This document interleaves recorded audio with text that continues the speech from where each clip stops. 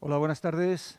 Bienvenidos al Planetario de Madrid. Bienvenidos a este ciclo que hemos titulado Singularity, que es singular no solo por los temas en los que estamos implicados en el ciclo, con todos los conferenciantes que han tenido o el que tenemos el honor de participar, de participar con ellos y que hayan querido participar en el ciclo, sino también eh, los temas, pero también los ponentes. Los ponentes son muy importantes y especialmente hoy contamos con la presencia de un físico teórico de los más importantes del mundo, que nos va a hablar desde la Universidad de Princeton, en Estados Unidos. Ha tenido la gentileza de hacer un hueco en todas sus múltiples actividades y estar con nosotros para hablarnos de, todo lo que tiene que ver con las incógnitas de la física teórica, las simplicidades de la física, el bosón de Higgs, agujeros negros, en fin, va a hacer una especie de amalgama de todas estas cuestiones que tanto han preocupado a los hombres desde antiguo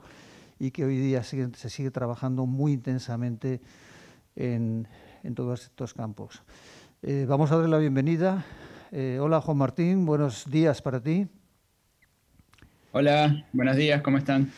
Juan Martín, voy a hacer una pequeña reseña biográfica tuya, si no te importa, y luego a continuación, pues ya agradecerte de tu presencia. Eh, estamos aquí rodeados de mucha gente que te está viendo, que te está escuchando y, que, y mucha gente que también va a estar en el canal de YouTube, eh, tanto en directo como luego posteriormente en visualizaciones que hagan posteriormente.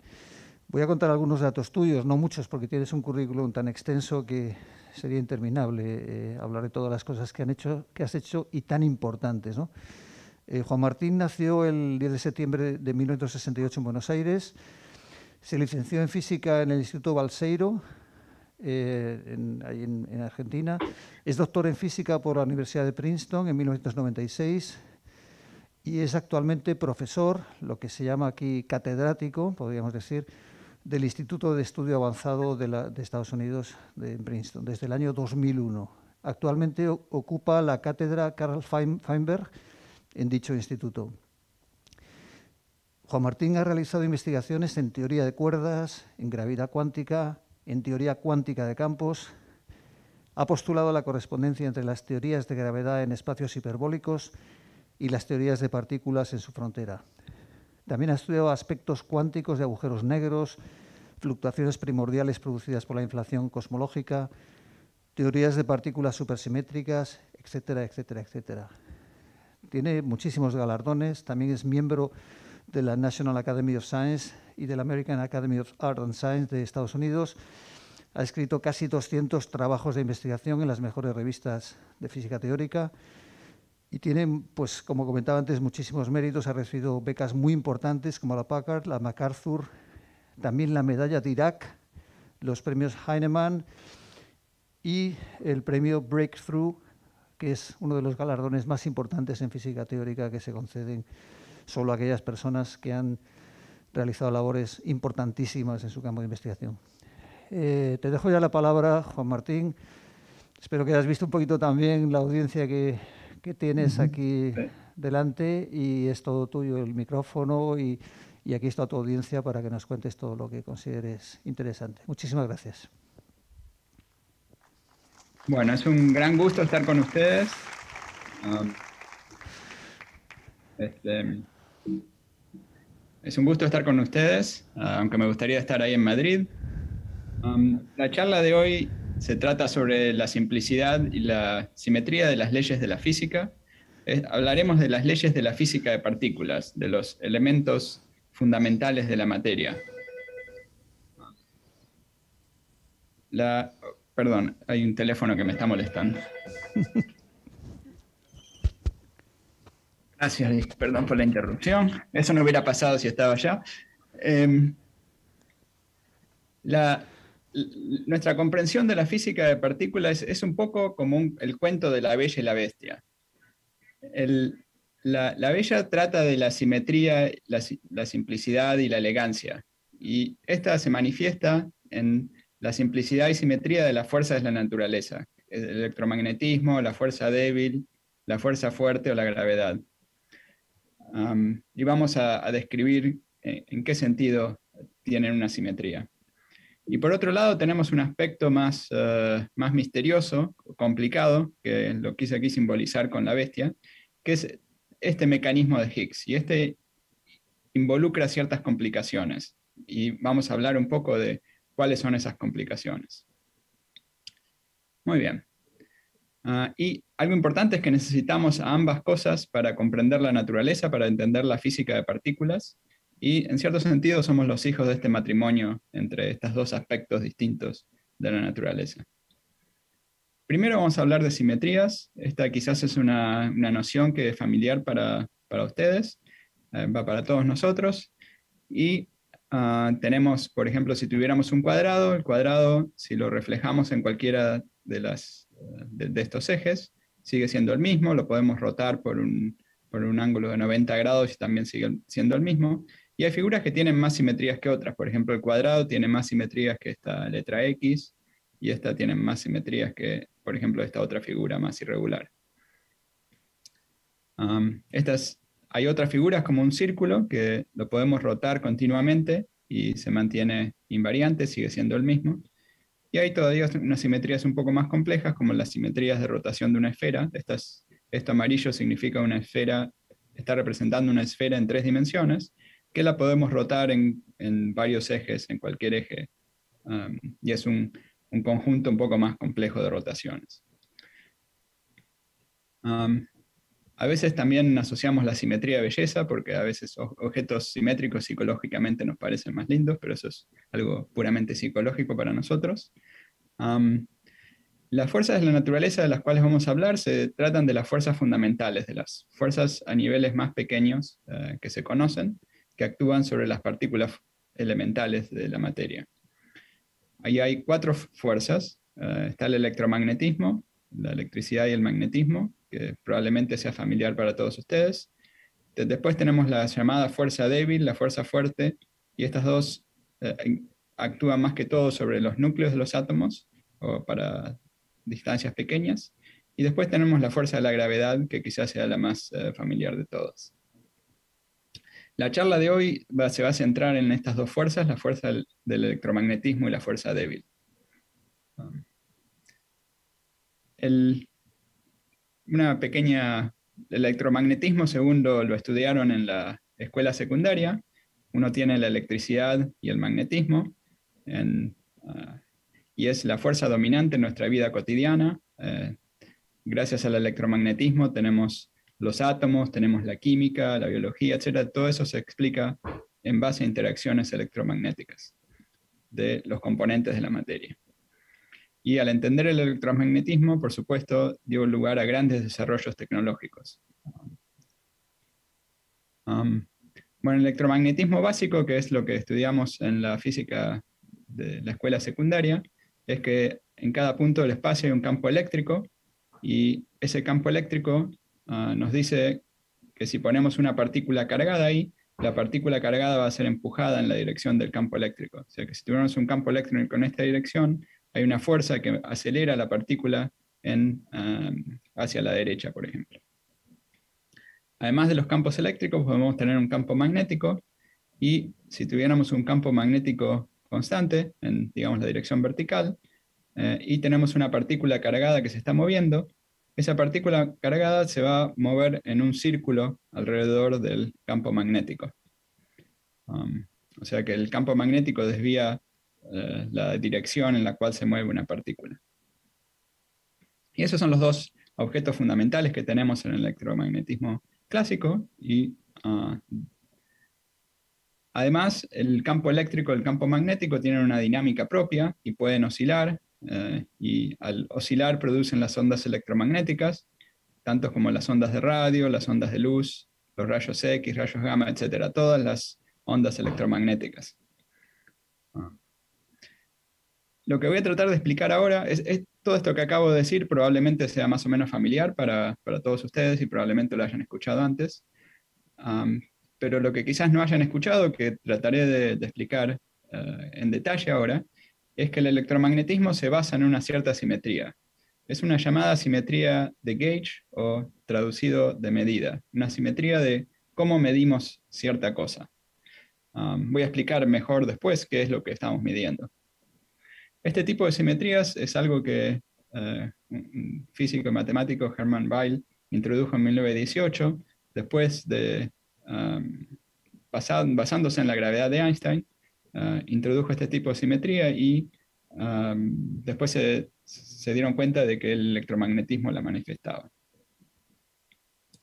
Y este, este concepto es un concepto importante para la física de partículas y por eso lo voy a tratar de explicar a través de una analogía. Y va a ser una analogía económica. Um, entonces vamos a pensar en un sistema económico muy simple y uh, ahora se los voy a describir, pero lo, lo, importante es que lo que estamos tratando de hacer es entender la física, no la economía. O sea, el sistema económico va a ser muy simple y ustedes van a decir, ah, pero la economía del mundo real no es así. Es cierto, la economía del mundo real no es así, como voy a explicar ahora, pero um, es una economía simplificada y la física es bastante parecida a esta economía simplificada. Entonces lo que vamos a suponer es lo siguiente, que tenemos uh, distintos países, cada país tiene su moneda, o sea, por ejemplo, en España ustedes tienen el euro, en Estados Unidos eh, los dólares, etc.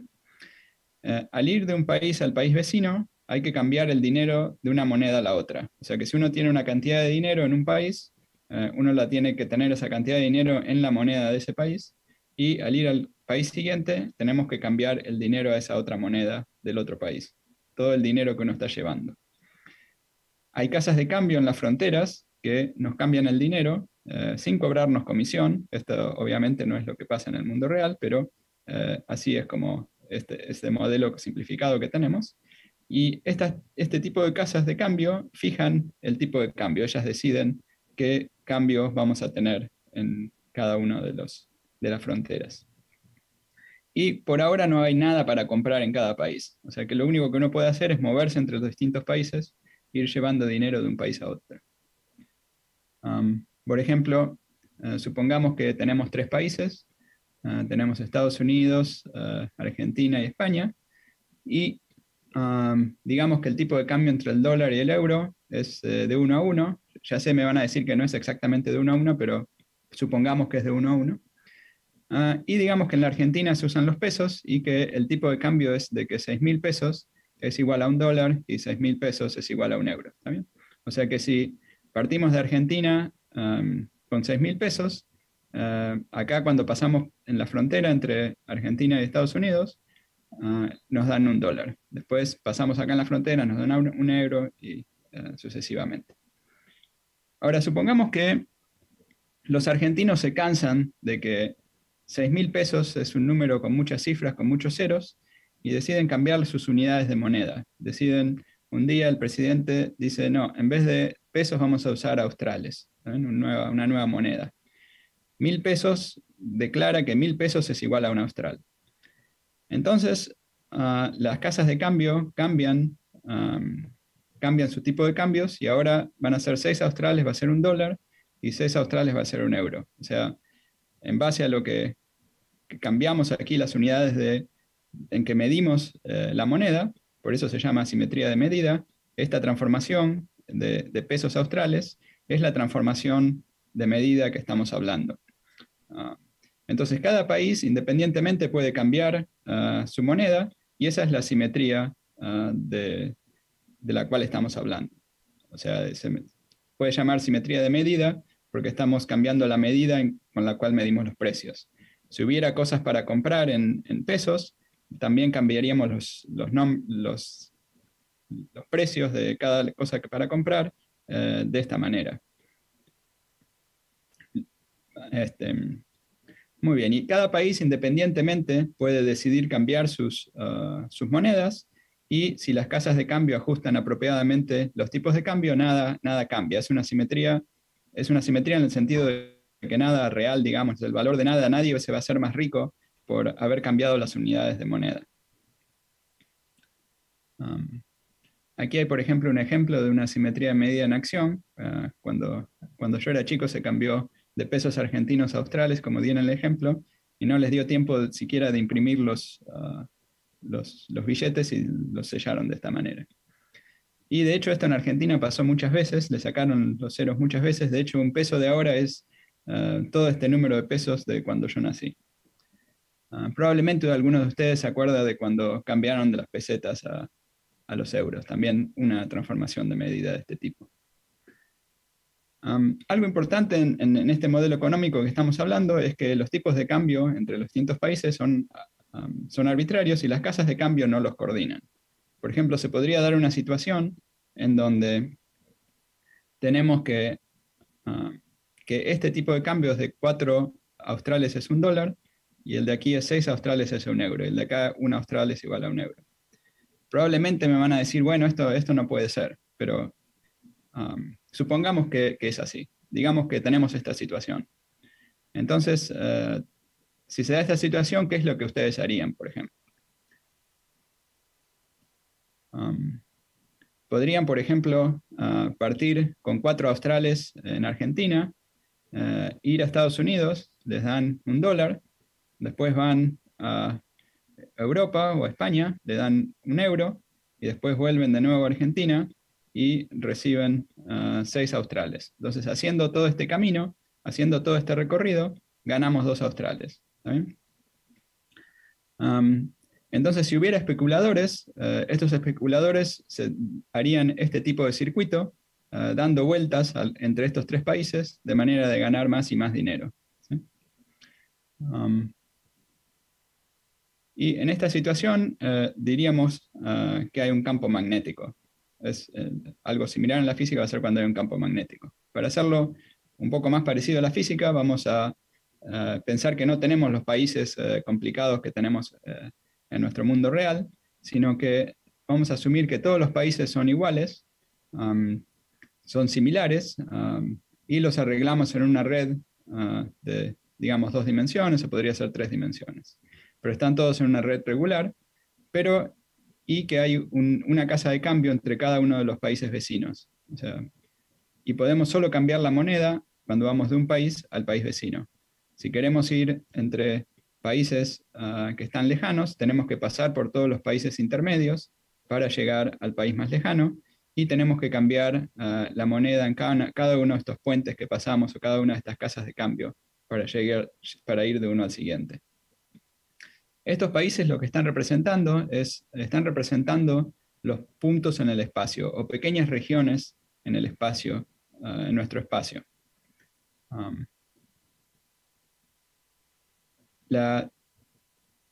Y eh, en, la vida real, la simetría del campo electromagnético eh, no es tanto, no es exactamente como un cambio de moneda, sino que es más parecida a la rotación en un círculo.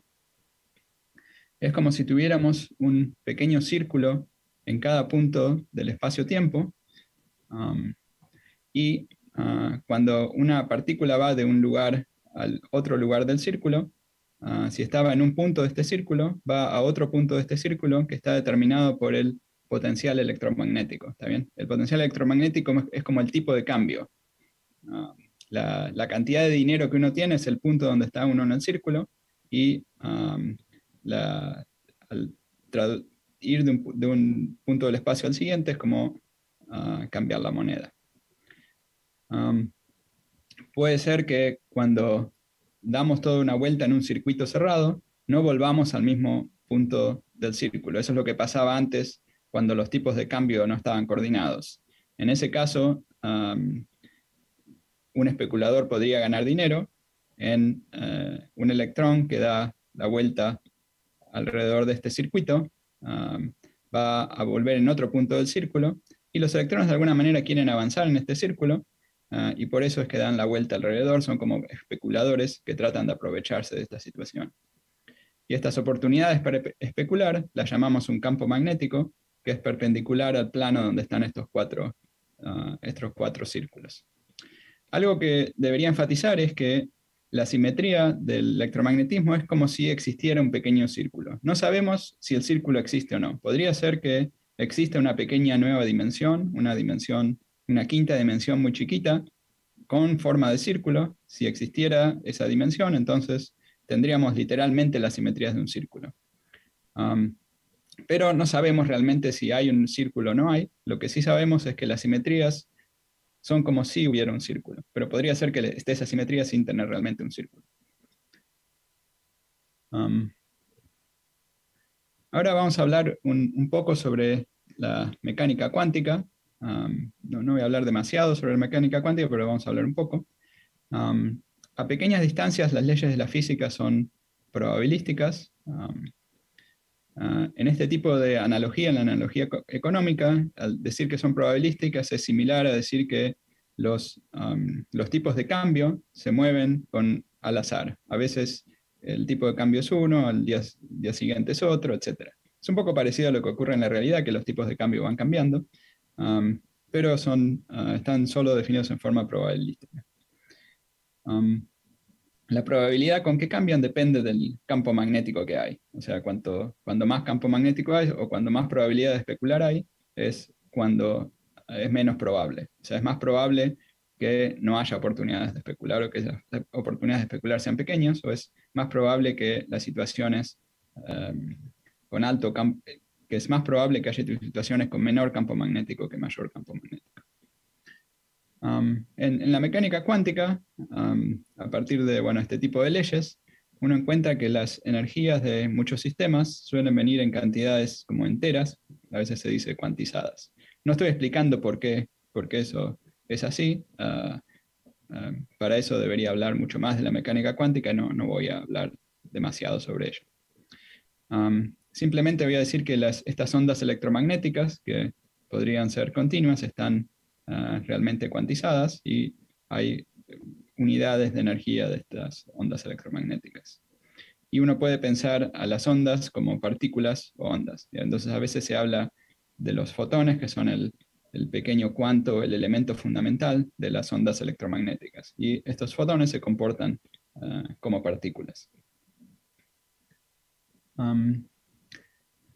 Cuando unimos el electromagnetismo del cual estábamos hablando con la teoría cuántica, tenemos el electromagnetismo, la electrodinámica cuántica, y esta es una teoría que está basada en esta simetría de medida o simetría de gauge en inglés, además del campo electromagnético, tenemos eh, partículas, que son, por ejemplo, los núcleos de los átomos y los electrones. El electrón es una partícula que tiene una, cierta masa. Interacciones electromagnéticas explican la mayor parte de los fenómenos cotidianos que experimentamos todos los días. Por ejemplo, un átomo consiste en, una, bueno, en el núcleo rodeado por un electrón o varios electrones, y el tamaño del átomo tiene que ver con la masa del electrón. Si pudiéramos hacer el electrón más masivo, el átomo sería más pequeño. Si el electrón tuviera menor masa, el átomo sería más grande. El tamaño de los átomos que tenemos en la naturaleza dependen de la masa del electrón, determinados por la masa del electrón. Hasta ahora hablamos ah, solamente de la fuerza electromagnética, Ahora vamos a introducir eh, una nueva fuerza, que es eh, la fuerza débil. Esta fuerza débil ah, no la experimentamos mucho en la vida cotidiana, tiene que ver con los decaimientos radioactivos, tiene que ver con la radioactividad. Ah, por ejemplo, si uno tiene un neutrón ah, fuera de un núcleo, un neutrón flotando en el espacio, ese neutrón es inestable y puede decaer en un protón y un electrón y una partícula llamada antineutrino. Y esta es una manifestación de, esta fuerza débil. Esta fuerza débil, a pesar de no tener una importancia en la vida cotidiana, tiene una importancia importante dentro de nuestra existencia, porque los elementos químicos del principio del universo eran muy sencillos, era simplemente básicamente hidrógeno, y en las primeras estrellas se fueron formando los nuevos elementos químicos como el oxígeno, los, otros núcleos que tenemos como el oxígeno, el carbono, etcétera, que son tan importantes para, bueno, y que forman toda la materia que tenemos a nuestro alrededor. Esta, esta fuerza fue importante para ir transformando ah, los protones en los neutrones uh, y ah, ir creando los nuevos núcleos elementales, los nuevos núcleos de los elementos. Y a pesar de ser muy débil, también puede mover montañas ya que los decaimientos radioactivos en el interior de la Tierra calientan la Tierra y la mantienen caliente, y eso hace que se muevan los, continentes y se formen las montañas. La, fuerza débil también se basa en una simetría. es una simetría que no es la simetría de un círculo, sino más bien la simetría de una esfera. Es como si en cada punto del espacio tuviéramos una pequeña esfera, de, una, pequeña esferita, y ah, si tenemos una partícula, un objeto dentro de una esfera, para llevarlo a la otra esfera, tenemos que decir cómo el objeto se rotó de una a la otra. Y para especificar una rotación, ah, necesitamos tres variables, porque necesitamos decir en qué dirección está el eje de rotación y por cuál fue el ángulo de rotación. Y para eso necesitamos tres variables. Y eso hace que haya, en lugar de un potencial electromagnético como teníamos antes, haya tres, básicamente tres potenciales débiles, o tres ondas débiles eh, de distinto tipo debería haber. la simetría de medida continúa estando y tiene que ver con la posibilidad de rotar eh, la esfera o los ángulos de cada una de las esferas independientemente y ajustar los tipos de cambio entre las esferas. Son los tipos de cambio, entre lo, análogo a los tipos de cambio de moneda, serían estos potenciales débiles, que son tres variables para cada una de las, para cada una de los, de los puentes que tenemos entre los puntos ah, vecinos del espacio. Este tipo de teorías fue desarrollado en los años 50 eh, con otros propósitos y después fue aplicado a las interacciones débiles un poco posteriormente. Pero cuando eh, este señor Young ah, dio una charla sobre, este, sobre su teoría, este otro señor Pauli le objetó, le dijo que no podía ser porque estas ondas débiles describirían partículas sin masa y ah, no, no, existen partículas sin masa, serían parecidas a las partículas, a los fotones y no, no existen ese tipo de partículas o sea, serían unas partículas parecidas a las del electromagnetismo, o sea, parecidas a los fotones, ah, pero con tres partículas adicionales que se propagan a la velocidad de la luz y no, no existen esas partículas. Entonces parece ser simplemente una teoría bella asesinada por una dura realidad. sin embargo, hay una manera de ah, resolver este problema de que las partículas no tienen masa, y eh, esto va a tener que ver con este mecanismo del, bosón de Higgs.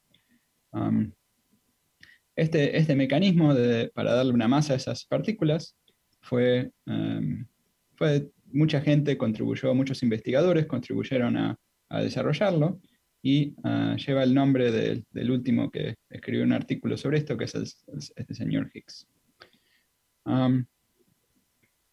entonces, la, idea básica es, decir que es como si hubiera un objeto en cada una de estas ah, esferas débiles, y ese objeto Ah, define una especie de sistema de referencia en cada una de las esferas. Entonces, para tratar de explicarlo un poco mejor, vamos a regresar a esta analogía monetaria que estábamos haciendo antes, eh, y ahora vamos a decir que hay algo para comprar en cada uno de los países. Digamos que podemos comprar oro. Hay una cosa que podemos comprar, que es el oro, y que lo podemos llevar de un país, a un país al país vecino. Por ejemplo, supongamos que tenemos aquí Estados Unidos, donde eh, un lingote de oro cuesta un dólar, y eh, tenemos Argentina, donde un lingote de oro cuesta uh, eh, 6 mil pesos. O sea, en cada, en cada país el oro va a tener un cierto precio. Y tenemos los mismos tipos de cambio que teníamos antes. O sea, por ejemplo, aquí el tipo de cambio son mil pesos, es igual a un dólar. Muy bien. E, en una situación de este tipo, ustedes ven que hay una nueva manera de especular ahora, no se necesitan tres países para especular, sino que simplemente con estos dos países ya podemos ah, ganar dinero. ¿Ya se dieron cuenta cómo, cómo ganar dinero?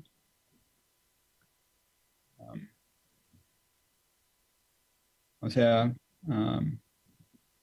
¿cómo hacemos? A ver, comenzamos con un, ah, con un dólar, ah, compramos un lingote de oro, lo llevamos a Argentina, nos dan 6 mil pesos, y después ah, regresamos a Estados Unidos y tenemos 6 dólares. O sea, al hacer este tipo de intercambio, ganamos 6 ah, veces el, el, dinero que teníamos inicialmente. O sea que hay nuevas oportunidades para especular. y esta simetría que teníamos antes ah, sigue presente. O sea, si cambiamos la unidad monetaria en Argentina, el tipo de cambio cambia de la forma antes era mil pesos igual a un dólar, ahora es un austral igual a un dólar, y también el precio del oro cambia ah, de la manera ah, que, teníamos antes. Y si ahora tratáramos de especular con los nuevos precios, ganaríamos la misma cantidad de dólares. ¿está bien? Si empezamos aquí y hacemos el mismo proceso que hicimos antes, regresaríamos a Estados Unidos. De nuevo, si comenzamos con un dólar, regresaríamos con 6 dólares. Multiplicaríamos nuestra, nuestras ganancias por un factor 6. Ahora, en esta situación podemos elegir eh, las monedas en cada uno de los países eh, de manera tal de que el precio del, oro sea el mismo en todos, eh, en todos los países. Um, pero seguimos teniendo los tipos de cambio. Entonces, si elegimos que el precio del oro sea el mismo en todos los países, resulta más claro que hay una oportunidad para especular, por ejemplo. Porque en cualquier lugar, en cualquier, cualquiera de estos tipos de cambios, si no es uno a uno, ahí ya definitivamente hay una oportunidad para especular. Um, y um, recuerden que estos tipos de cambios son, están relacionados con el potencial eléctrico, por ejemplo. Entonces, esto nos está diciendo que hay un valor preferencial uh, del potencial eléctrico. Um, entonces, si, no tuviéramos el oro, los tipos de cambio entre dos países son completamente arbitrarios y solo pasando por cuatro países cercanos, en esta situación donde teníamos toda una, red o un conjunto regular de países, en ese caso solo pasando por cuatro países cercanos podíamos especular ah, con las monedas. Al tener el oro podemos tener también la posibilidad de especular entre países vecinos y los tipos de cambios tienen un valor preferencial. Ah, el valor preferencial es el que no nos permite ganar dinero moviéndonos solo entre dos países vecinos. Y una vez que fijamos el precio del oro a uno en todos lados, cualquier fluctuación del tipo del cambio nos da una oportunidad para especular y esto está relacionado con el hecho de que las, um, uh, que las masas de las partículas asociadas, o sea, de las masas de las partículas asociadas al campo, por ejemplo, electromagnético en este caso, Ah, fueran no cero. Entonces, este campo de Higgs ah, es parecido al precio del oro en cada país. Uno lo puede elegir de manera tal de que sea el, mismo en todos lados. y ah, lo análogo a los tipos de cambio serían estos tipos de cambio de la fuerza débil, que tienen un valor preferencial y si los queremos cambiar, se genera una oportunidad para especular y eso hace que sea menos probable que cambien. Ah, y eso le da una masa a estos bosones débiles. Estos llevan unos nombres que se llaman partículas Z y W, W más y menos. La, masa esta de los bosones débiles, ah, esto es un, como un mecanismo que, le hemos, que eh, estuvimos tratando de explicar para explicar por qué tienen una cierta masa, y eso es importante para explicar por qué no observamos en forma sencilla ah, las, las ondas débiles. O sea, los fotones los podemos ver ah, con nuestros ojos. Si miramos al Sol, por ejemplo, vemos los fotones, que, la luz que viene del Sol, y esa luz no tiene ningún problema en mover los electrones que están en nuestra retina y hacernos ver la luz. sin embargo, el Sol también emite eh, neutrinos, otras partículas, y los neutrinos tienen la peculiaridad de que solo interactúan debido a la fuerza débil. Y a los neutrinos no los, vemos, no los vemos. Cuando vemos al Sol no vemos los neutrinos. De hecho, los neutrinos pasan, la mayor parte de los neutrinos pasan a través de toda la Tierra. Y lo que ocurre es que los neutrinos al interactuar solo con la fuerza débil, para lograr, para lograr empujar a un electrón, tienen que pasar muy, muy, pero muy cerca de ese electrón. Ah, y eso es muy poco probable. Y eso tiene que ver con el, rango de la fuerza o qué tanto eh, qué tan lejos una fuerza puede afectar a otra partícula, tiene que ver con cuánto viaja esta partícula Z alrededor del neutrino, y cuanto más grande es la masa, menos, ah, más cerca se queda del neutrino y menos viaja, menos probable que, se observe o se cree una partícula Z. y eso explica ah, por qué la fuerza débil no es, ah, no es algo que vemos en forma sencilla en nuestra vida cotidiana. La fuerza débil también tiene otras propiedades extrañas y ah, para entender bien todo este tema del bosón de Higgs, etc., es también necesario hablar de estas otras propiedades extrañas que tiene la fuerza débil. pero antes de explicar esta nueva propiedad extraña, necesitamos hablar un poco más de las rotaciones, las rotaciones de las esferas. Empecemos con las rotaciones eh, de una esfera en el espacio ordinario. Uno puede rotar la esfera. las partículas elementales también pueden, tener, pueden rotar, pero con una unidad mínima de rotación, que llamamos a veces el spin. Las ondas electromagnéticas, por ejemplo, pueden estar polarizadas circularmente en, una dirección o en otra dirección. Cuando están polarizadas en una dirección, significa que el campo eléctrico va rotando ah, va cambiando de dirección ah, en un círculo y ah, decimos que es como si tuviéramos una partícula que está rotando en la dirección opuesta a la dirección de movimiento. O si rota en la dirección opuesta puede ser en la misma dirección que la dirección de movimiento. Entonces tiene como dos posibilidades. En el caso de la luz hay solo dos posibilidades. Puede rotar, puede tener polarización circular en una dirección o en la otra dirección. Y esas son las dos posibilidades que tenemos para el caso de la luz. Ah, para el caso del electrón, también ah, tiene una polarización, puede haber una rotación.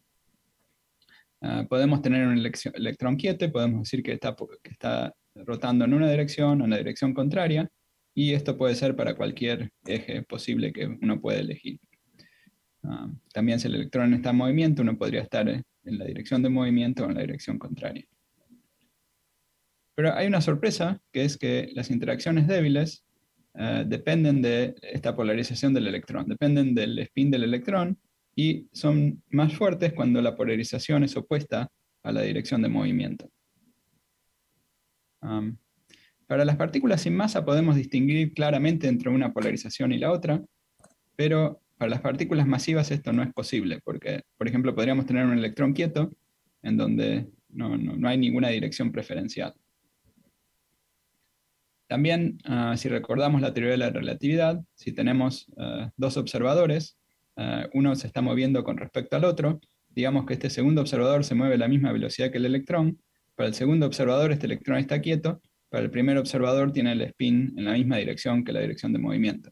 Pero podríamos tener también un tercer observador que se mueve más rápido, y para este observador el spin va a ser en la dirección opuesta a la dirección de movimiento.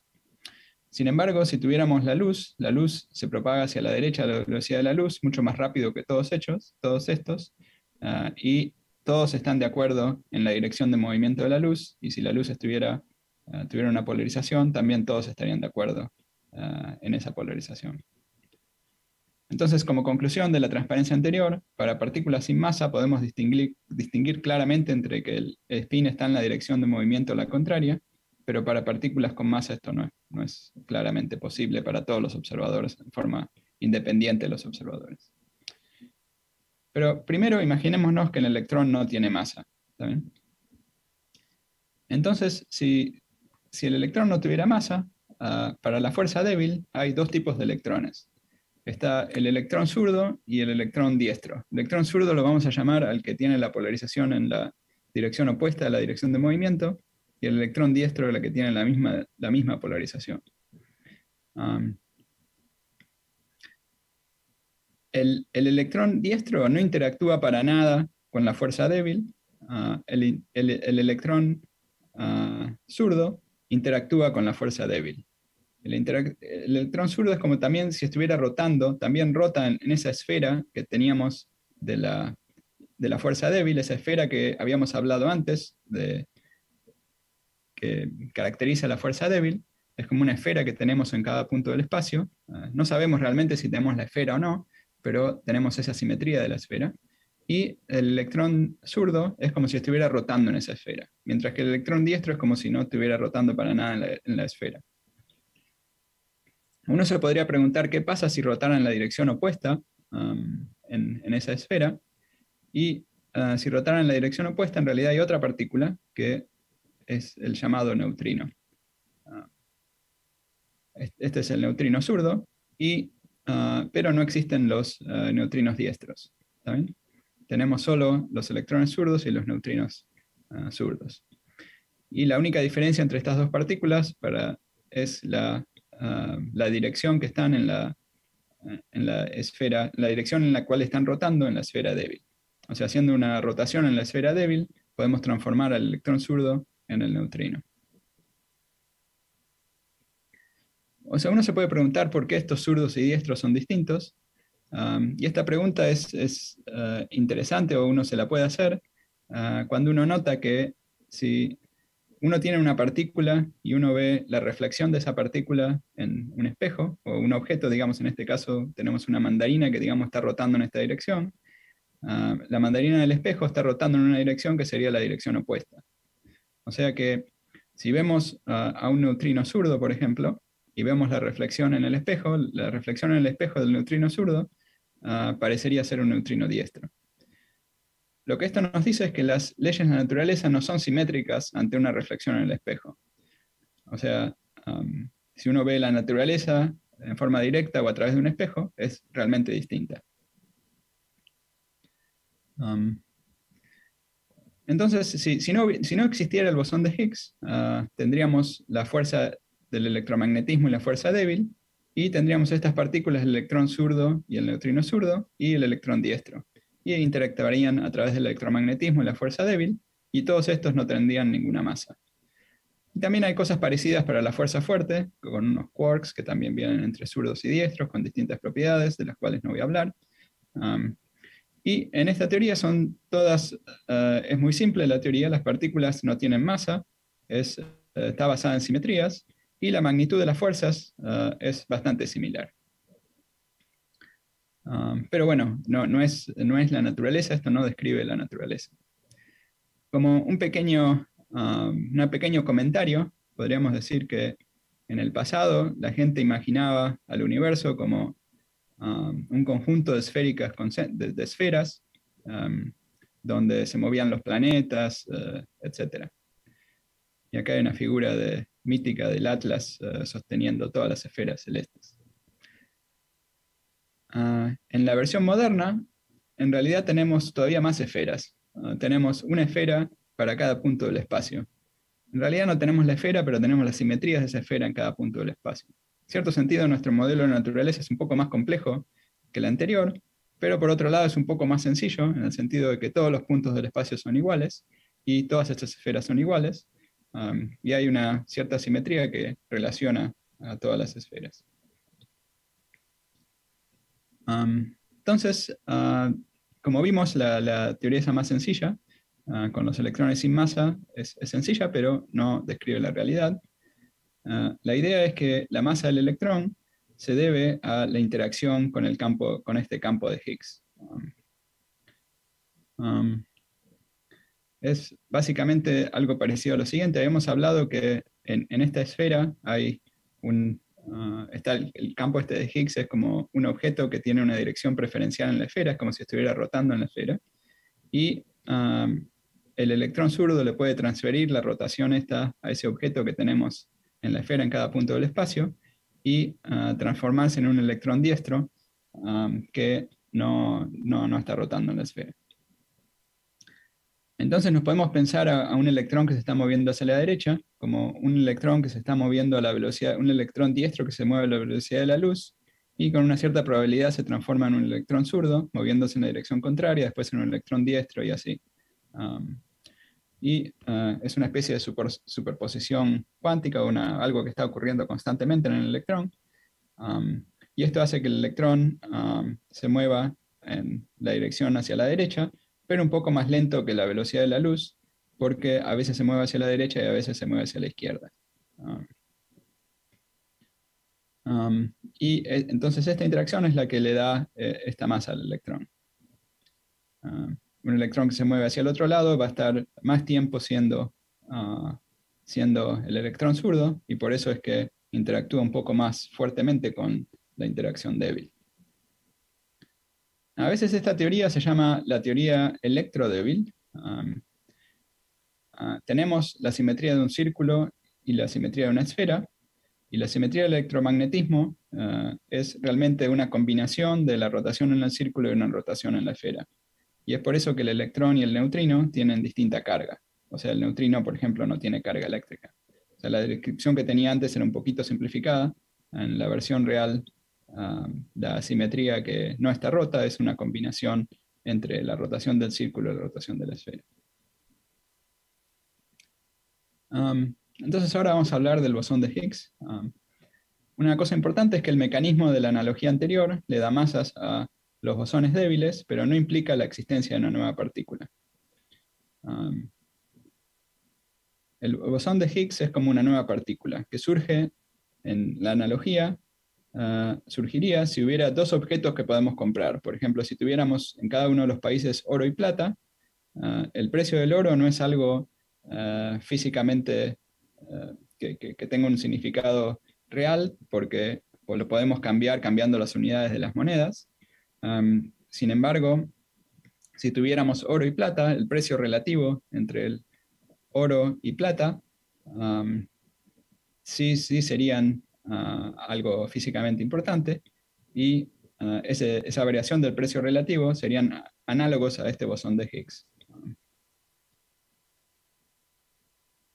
Una pregunta que nos podríamos hacer es por qué necesitamos al menos dos cosas en cada uno de los países.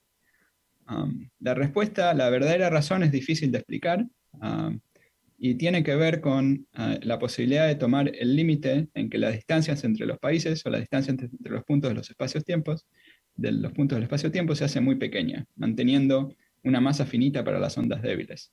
O sea, una manera de definir o de pensar en la teoría de las partículas es que, y esta es una manera que se hace en la práctica, Em, cuando queremos hacer cálculos, es una manera de hacer los cálculos, es pensar que tenemos eh, todos estos puntos en el espacio a una cierta distancia, pero después tomar un límite en donde ponemos más y más de estos puntos, ah, y ponemos todavía más y hacemos la distancia entre estos puntos cada vez más pequeña, y ah, la queremos hacer muy, muy pequeña, mucho más pequeña que la distancia que podemos distinguir, de manera tal de que nos parezcan como algo básicamente uniforme.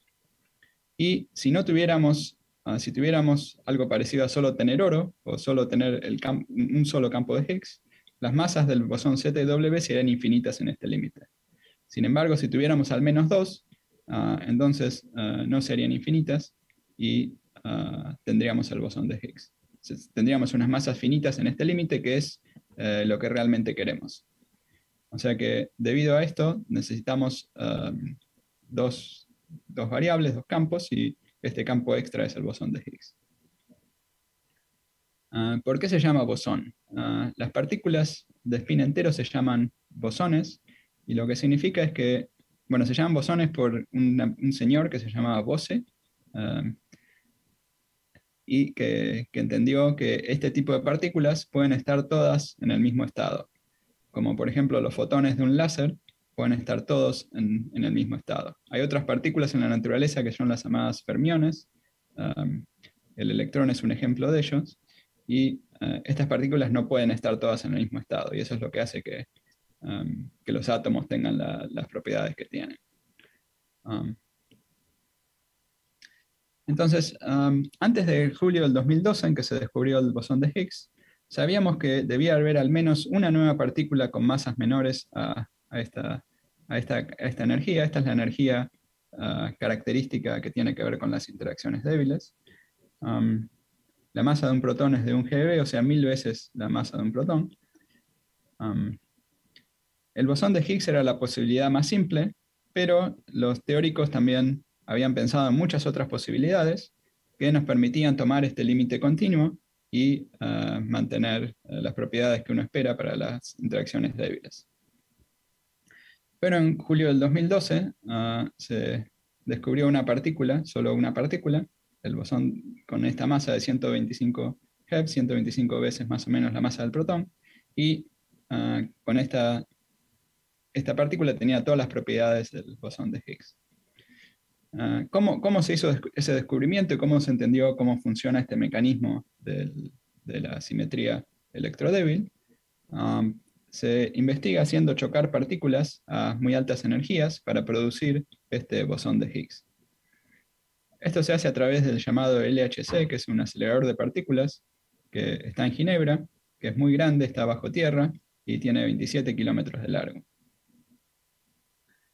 Um, LHC significa Large Hadron Collider, uh, que traducido al español sería algo así como colisionador de partículas gordas. Um, o un colisionador de protones. Los protones las llamamos partículas gordas porque están hechas de otras partículas un poco más elementales, como los llamados quarks. para explicar cómo funciona el Large Hadron Collider, primero vamos a ver un objeto que va a ser más familiar para ustedes, que es el pequeño colisionador de electrones. uno puede hacer un pequeño colisionador de electrones de la siguiente manera. Uno toma un tubo de vidrio Ah, y uno le quita todo el aire adentro y uno pone una placa aquí cargada negativamente y una placa aquí cargada positivamente. Esto genera un campo eléctrico. Ah, si uno calienta un poco esta placa, salen electrones que vienen aquí y chocan sobre la placa esta que está acá adelante. También podemos poner campos magnéticos que desvían las partículas y las hacen chocar en distintos lugares. Variando el campo magnético, las hacemos chocar en distintos lugares. Esto es algo que algunos de ustedes probablemente hayan visto, es simplemente cómo, funciona, ah, cómo funcionaban los televisores antes, cuando teníamos los televisores de rayos catódicos. Obviamente ahora no funcionan así, pero así eran los televisores viejos. Entonces, eh, veamos cuál es la diferencia entre un televisor y el LHC. La única diferencia es la energía que se le imparte a la partícula. En el televisor ah, uno podría impartirle una energía del orden de 14.000 voltios al electrón, mientras que el LHC le imparte una energía ah, de 14, bueno, un número muy grande, 14 billones de voltios. O sea que el LHC le entrega al protón una energía mil millones de veces más que la energía que le entregaría un televisor a cada electrón. Y por eso es que necesita ser tan grande, es muy grande para Ah, los, protones se mantienen en una trayectoria circulares con campos magnéticos y con campos eléctricos se le va dando energía de manera tal de aumentar y aumentar su energía. Esta es una vista del túnel adentro ah, por donde circulan los protones. Ah, hay dos conjuntos de protones que circulan en direcciones opuestas y en distintos lugares se van chocando. Hay varios lugares donde se chocan. cuando se chocan, Ah, producen un montón de otras nuevas partículas y estas nuevas partículas se propagan en, dentro de un detector que detecta ah, las distintas partículas que se producen. Estas colisiones son complicadas porque, como dijimos, los protones son gordos, están hechos de otras partículas y cada vez que chocan se generan muchas nuevas partículas. Toda esta lluvia de partículas está determinada en gran medida por estas simetrías de medida, uh, valga redundancia, y sobre todo por la simetría de la interacción fuerte. No, hablamos de la interacción fuerte, pero la interacción fuerte también se basa en una de estas simetrías de medida, la simetría de un cierto objeto que tenemos en cada punto del espacio. Los detectores de partículas son ah, bastante complejos, tienen, ah, algunos son muy grandes, este es uno de ellos, el llamado detector Atlas, por eso es que había elegido la figura de Atlas. Ah, podemos pensar que Atlas, en lugar de estar sosteniendo las, ah, las esferas celestes, eh, nos está ayudando, este detector Atlas nos está ayudando a descubrir ah, cómo son las esferas débiles que tenemos en cada punto, cómo son esas simetrías de las esferas que tenemos en cada punto del espacio. Como dije, no es necesariamente las tenemos, sino que tenemos la simetría de la esfera. Y nos está tratando de ayudar a entender esas simetrías. Ah, todo este conjunto de capas que tiene son ah, capas que generan distintos campos magnéticos y que detectan las distintas partículas ah, que se producen. Esta es una foto de cuando lo estaban ah, construyendo. y hay dos detectores muy grandes, el de Atlas y otro que se llama CMS. cada uno tiene como 2.500 investigadores.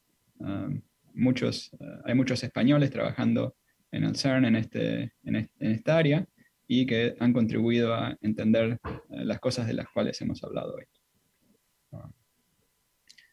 Los protones eh, chocan y producen muchas partículas y a veces, algunas veces, pocas veces, producen el bosón de Higgs y estos, estos decaen casi inmediatamente en otras partículas de una forma especial. Por ejemplo, aquí tenemos una colisión y ahí se produjo un bosón de Higgs que inmediatamente decayó en dos eh, fotones, estas partículas son dos fotones que depositaron mucha energía en los detectores. entonces uno hace gráficos de las energías de pares de fotones ah, y uno ve que hay un poco de exceso de, estos pares de fotones que se producen ah, cuando la suma de las energías de los pares de fotones es igual a la energía del bosón de Higgs. y de ahí podemos encontrar evidencia de que se ha producido el bosón de Higgs. Este es un gráfico de poco tiempo después del descubrimiento inicial. Ahora el gráfico es eh, mucho más claro, con errores mucho más pequeños. uno se puede preguntar, ¿para qué sirve el bosón de Higgs? yo personalmente no conozco ninguna aplicación tecnológica del bosón de Higgs. Ah, sirve para entender cómo funciona la interacción débil y entender cómo son las leyes de la naturaleza y ya entendemos mejor cómo el electrón adquiere su masa, y habíamos visto que la masa del electrón tiene que ver con el tamaño de los átomos, y, o sea que entendimos por qué los átomos tienen el tamaño que tienen. ¿Por qué cuando comenzamos la charla dijimos que el bosón de Higgs era feo? ¿Por qué dijimos que era como la bestia?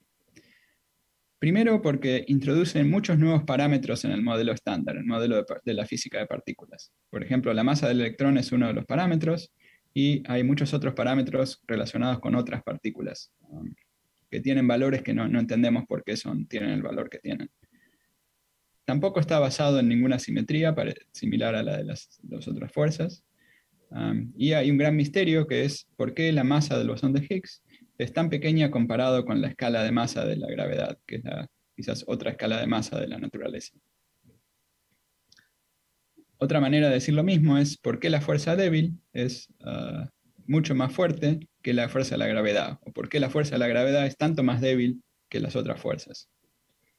Um, ¿Y ahora qué? ¿Qué esperamos en el futuro? Bueno, una cosa que ah, esperamos es que probablemente se descubran nuevas partículas. Ah, ¿Por qué esperamos nuevas partículas? Primero porque teóricamente el Higgs es feo y para explicar por qué la masa del Higgs es lo que es, uno esperaría que, hubiera nuevas partículas. No es, no es un teorema, es, algo que uno esperaría, quizás no existan y quizás haya que explicar la masa del bosón de Higgs de otra manera. Ah, y hay una razón también experimental para esperar, es para, para esperar que se descubran nuevas partículas, que es el hecho de que existe la llamada materia oscura. O sea, la materia oscura es ah, el hecho de que Ah, hay más materia de la que vemos ah, a través de, y podemos detectar la presencia de esa otra materia a través de observaciones astronómicas. O sea, si uno ah, en observaciones astronómicas uno ve una galaxia, uno creería que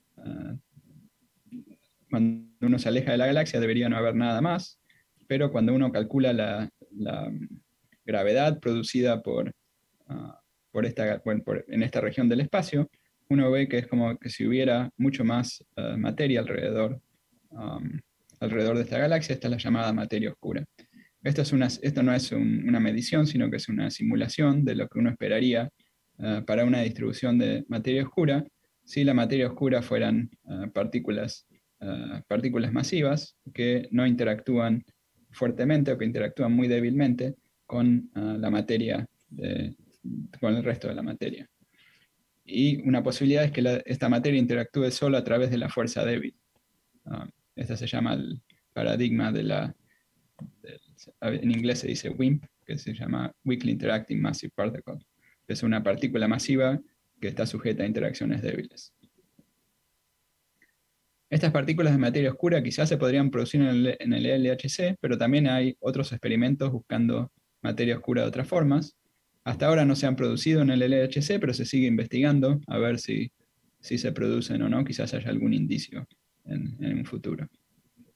Ah, las propiedades del bosón de Higgs están de acuerdo con la llamada teoría electrodébil propuesta inicialmente por uh, Steven Weinberg y Abdus Salam. Y ah, el LHC no ha descubierto ninguna otra partícula, además del bosón de Higgs, pero ha comprobado que todas las propiedades del bosón de Higgs están de acuerdo con esta teoría. O sea que nuestra visión de la naturaleza es este bosón de Higgs eh, con las fuerzas elementales, la simetría, una danza entre la simetría y el bosón de Higgs. Y quizás lo llamamos feo porque no lo entendemos del todo, quizás en un futuro lo vamos a entender bien y nos va a parecer eh, lo que ahora nos parece complicado, nos parecerá sencillo y claro.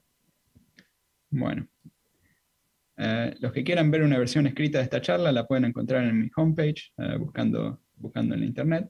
Ah, En conclusiones, uh, las fuerzas de la naturaleza son muy simples y se basan en la existencia de ciertas simetrías.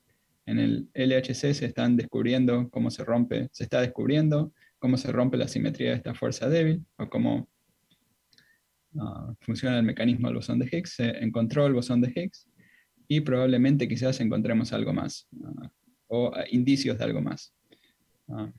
y entenderemos mucho mejor las leyes de la, fundamentales de la naturaleza. Bueno, muchas gracias.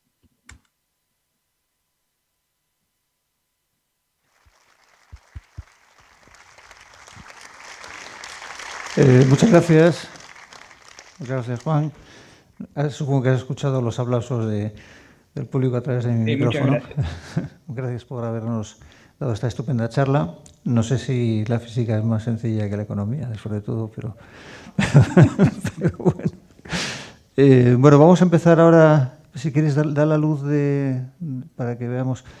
Y vamos a empezar con un turno de preguntas, si no te importa, y atendemos alguna Sí, sugerencia, algún comentario de algún. ¿Queréis hacer alguna pregunta?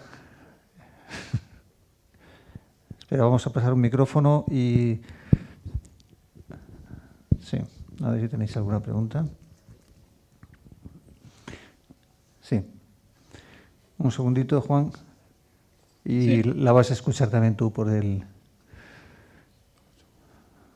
Por el micrófono, entiendo. Ah, vale, gracias. Sí. sí. Bueno, muchas gracias por su conferencia, ha estado muy, muy interesante.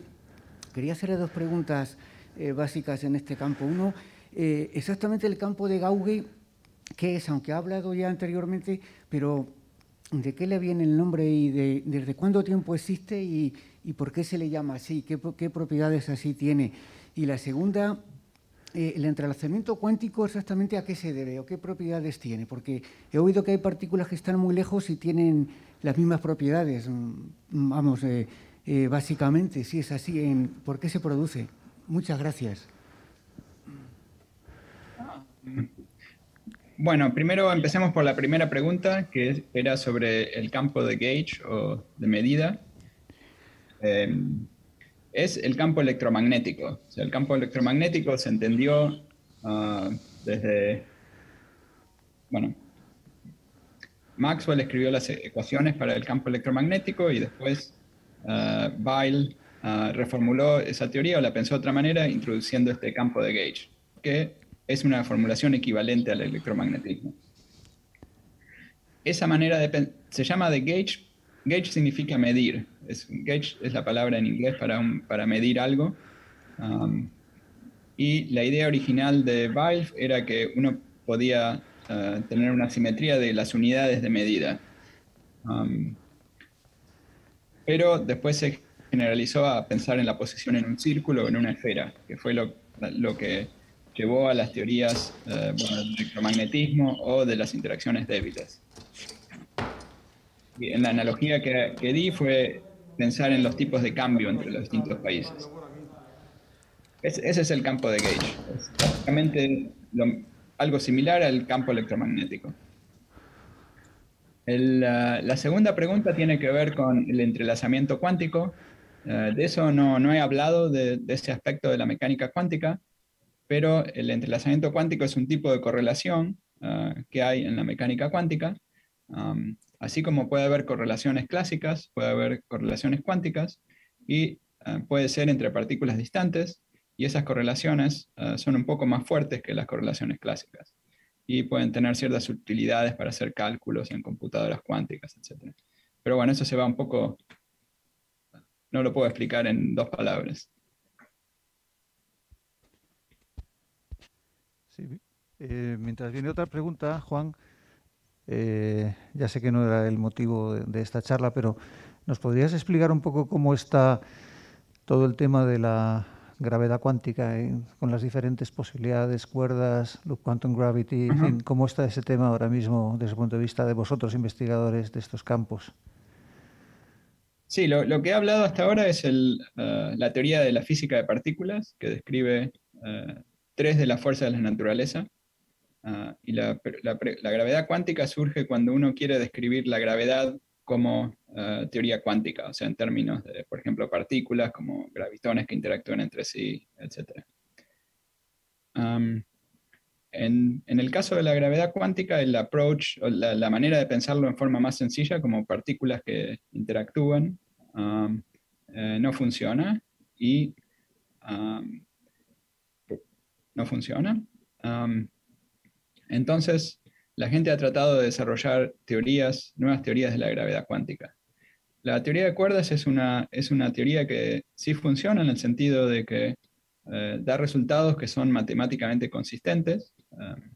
Eh, es, debo decir que es una teoría en construcción, no se entiende totalmente, pero eh, hasta lo que se ha entendido, da resultados que son matemáticamente consistentes y que reproducen aspectos de la física de partículas.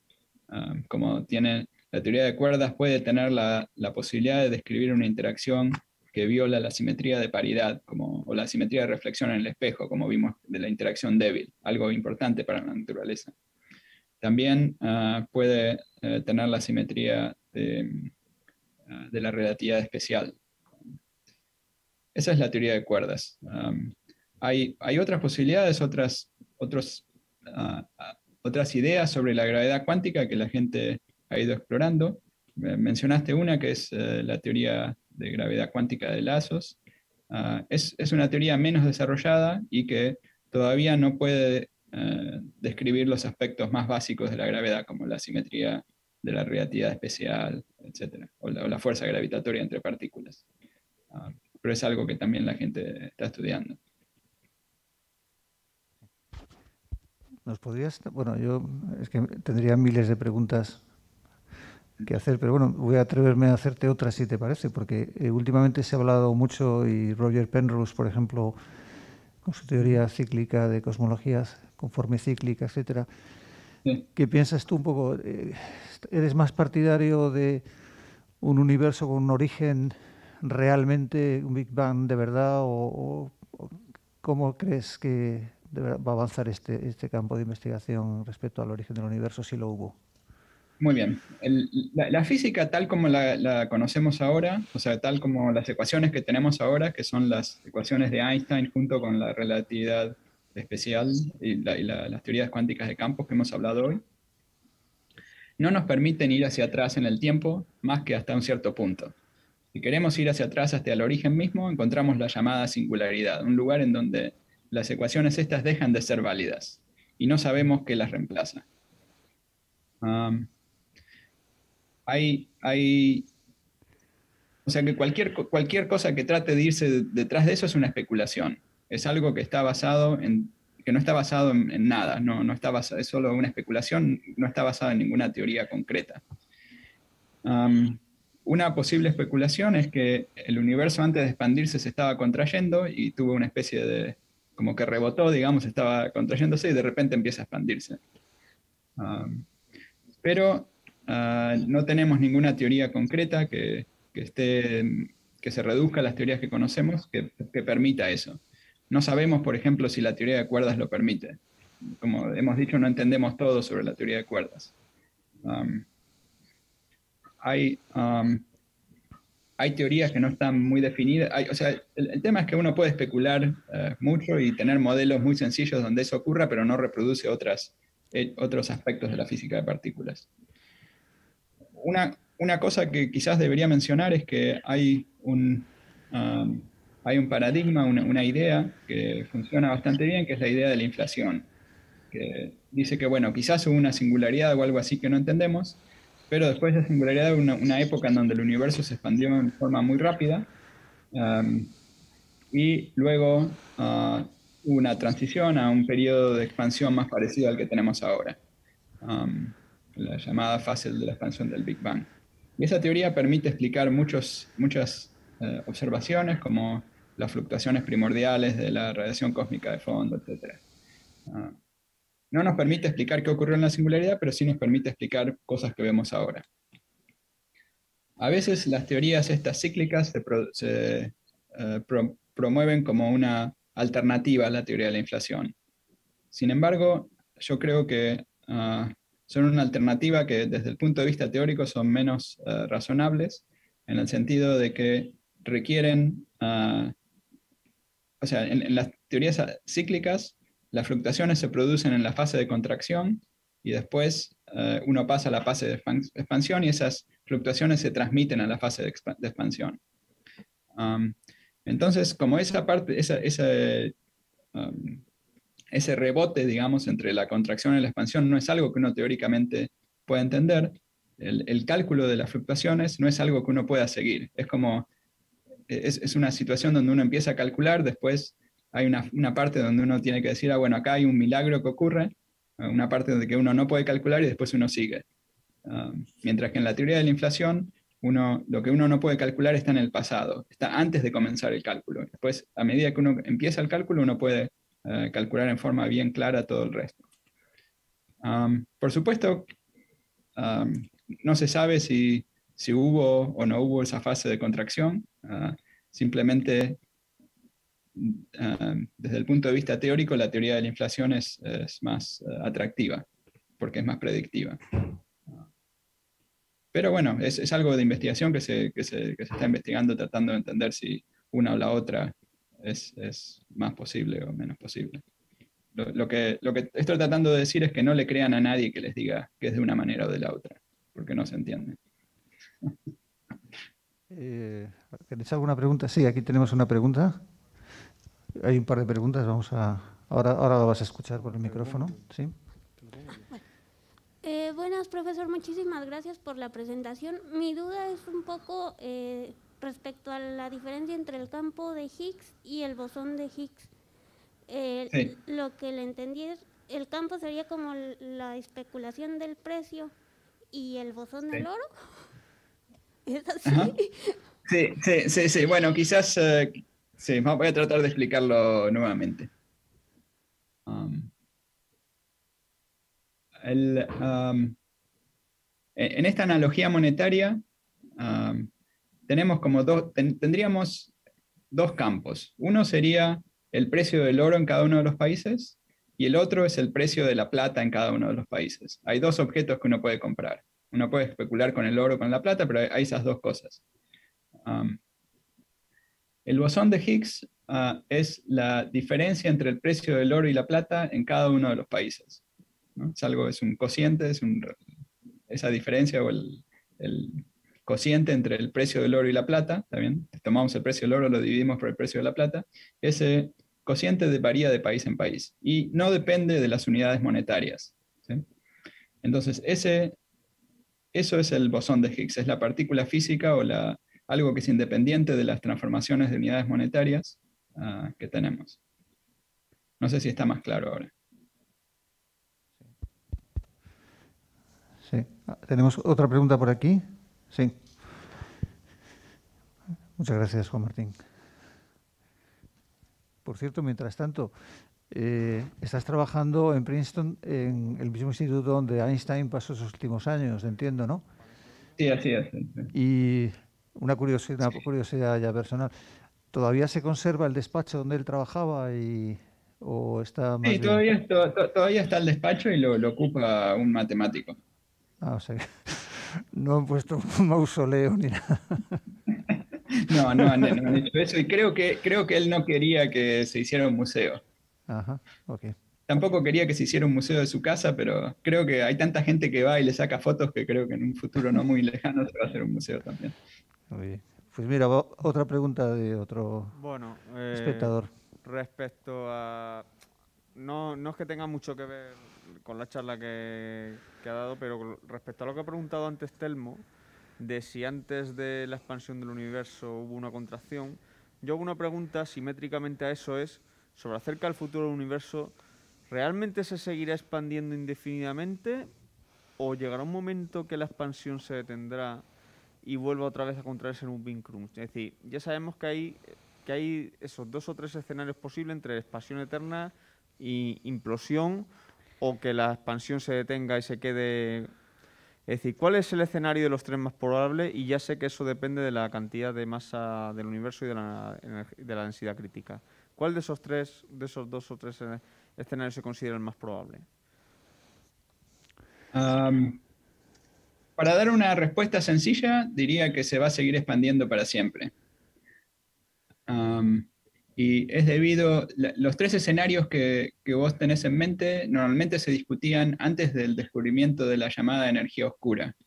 Hay, ah, la llamada energía oscura implica que el universo se va a empezar a expandir con un ritmo constante en, el futuro, por un futuro muy, muy largo. En realidad, en las teorías como estas teorías de las cuerdas, etc., em, los, siempre el universo es inestable, o sea que va a decaer en otro ah, que sea más estable. Pero ese, ese proceso de decaimiento va a ocurrir en un futuro muy, muy, muy lejano. Ah, o sea, se va a expandir por muchas veces la, edad del universo actual, muchas veces en el futuro, y quizás decaiga en algún momento en, un futuro muy grande. Eso es. El hecho de que decaiga es, es más, un poco más especulativo, pero es lo que esperaría. Mira, aquí hay una pregunta eh, muy interesante, así nos la puedes explicar en sencillamente, supongo que no, pero porque se refiere a, la conjetura de Maldacena. A ver si nos la podrías explicar en qué ámbito de todo esto está. Sí, la, conjetura es una, es una relación entre la gravedad, la gravedad o la gravedad cuántica y la física de partículas. Ah, como habíamos mencionado, la gravedad cuántica es una teoría un poco más misteriosa que no entendemos del todo pero la conjetura dice que la gravedad cuántica en una región del espacio, eh, especialmente para ciertos espacios, para espacios con curvatura negativa, es igual a una teoría de partículas en la frontera, o sea, a, unas distancias muy lejos. O sea que relaciona la teoría de la gravedad con la física de partículas. Es, es una relación entre estos dos tipos de teorías de la física. Sí, sí. Pues muchas gracias. Mira, eh, si quieres, hay una pregunta más aquí que nos añade un... Estas últimas preguntas son preguntas online de gente que ha seguido el chat en directo. Eh, pregunta de Roberto, ¿cree usted que la física ha llegado a un punto de estancamiento o necesitamos un enfoque totalmente revolucionario que cambie las últimas cosas que necesitamos para llegar a unificarlo todo? Bueno, la, física ha ido eh, desarrollándose, hay, ahora observaciones muy interesantes sobre agujeros negros, estamos en una época de Golden Age, digamos, de una época de oro para las observaciones de los agujeros negros. Por supuesto, una idea revolucionaria que funcione sería maravillosa, ah, pero bueno, alguien la tiene que tener. por el momento, hasta que alguien tenga una idea revolucionaria, la idea es tratar de desarrollar mejor y mejor las, teorías que conocemos. ¿Cuál, sería, eh, bueno, no sé si hay alguna pregunta más del público? Sí, hay una pregunta más aquí. Y si te parece, hacemos esa pregunta y yo una última que te quería hacer ya, quizá más personal, pero bueno, no, personal, sino profesional, pero y ya con eso no te queremos tampoco robar mucho más tiempo. Hola profesor, muchísimo gusto. Eh, no quería irme sin preguntarle algo con respecto al tema de la materia oscura es que la primera vez que leí, leí que el tema de la materia oscura o dark matter no era tanto por oscura, sino por desconocida, por la palabra dark en inglés de desconocida. Y al principio era más como que era un reflejo de, una partícula, por lo tanto digamos que era un 50 y 50. Pero de lo último que escuché resulta que ya no era, sino como un 86% de la, de la materia conocida en el universo. Y hay algunos artículos que leí en donde decía que los científicos lo único que estaban haciendo era como jugando con los números para que les encajaran las ecuaciones con el tema de la materia oscura con respecto al, al, resto de materia en el universo. Entonces, sí, de verdad que no quería irme sin preguntarle qué opinaba usted sobre ese tema. Bueno, hay, hay distintas maneras de, de, deducir cuánto es la cantidad de materia oscura. se puede deducir a través de, uh, bueno, estas observaciones de galaxias uh, que mencioné en la charla, pero también a través de observaciones más cosmológicas como las observaciones de la radiación cósmica de fondo y de entender cómo se está expandiendo el universo, o sea, relacionando la expansión del universo con la densidad promedio de materia. Y todas estas observaciones están de acuerdo y nos dan este, estos valores que, vos eh, mencionaste recientemente, eh, que la materia oscura es, eh, es la mayoría de la, de la, materia que tenemos. Nuestra materia que vemos es una, una versión, una parte muy pequeña de toda la materia del universo. no sabemos exactamente qué es, pero hay varias observaciones astronómicas que son, son más que todo, son totalmente observaciones astronómicas que nos dice que debería existir. Y hay muchas maneras en que se está tratando de encontrar qué es. Hay detectores que la están tratando de detectar y hay detectores que son sensibles a distintos candidatos de, materia oscura. Sí.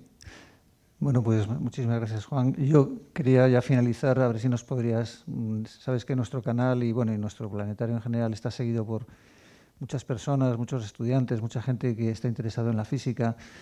Y me gustaría que finalizaras tu intervención, si te parece, con, unas palabras referido a, cómo es el trabajo en físico, lo interesante que puede resultar dedicar toda una vida a la investigación o al desarrollo de teorías, etcétera, para que animar a toda la gente que, que esté interesada por la ciencia en que la estudie de verdad o, por lo menos que se interese por ella, si te parece.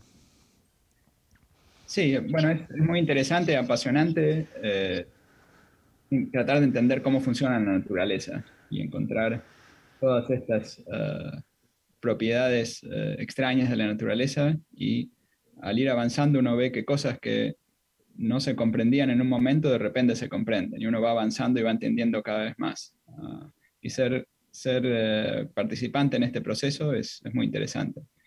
Ah, y ver que, no sé, que alguien descubre algo y uno lo puede entender y y que se va avanzando. Este sentido de progreso es algo muy interesante que, es quizás el aspecto más, más importante.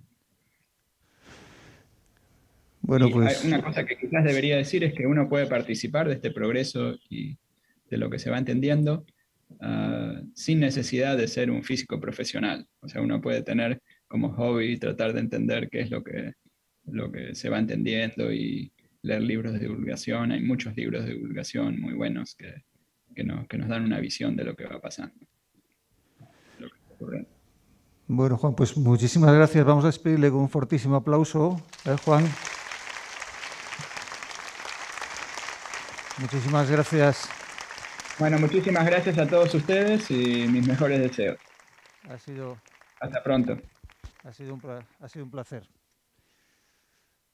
Bueno, bueno pues. Hasta luego.